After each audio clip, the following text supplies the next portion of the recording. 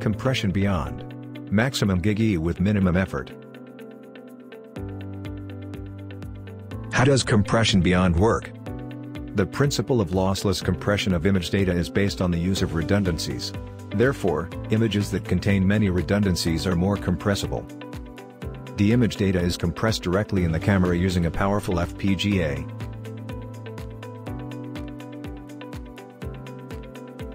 These encodings of the data information are carried out using the codebook.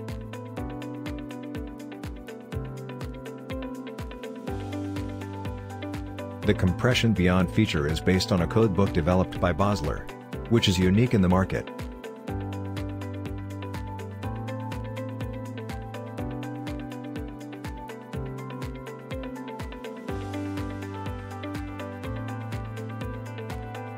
The principle of entropy coding enables lossless compression of image data.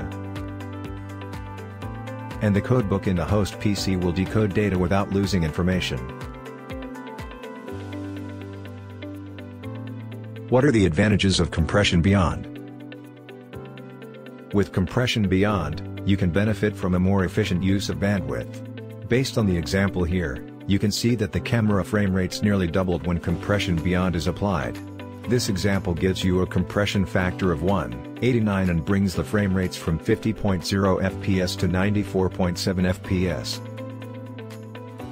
To summarize, Compression Beyond allows lossless compression, overcomes the bandwidth limitation of GigE and enables higher throughput of your system. If you want to go beyond this, we go one step further.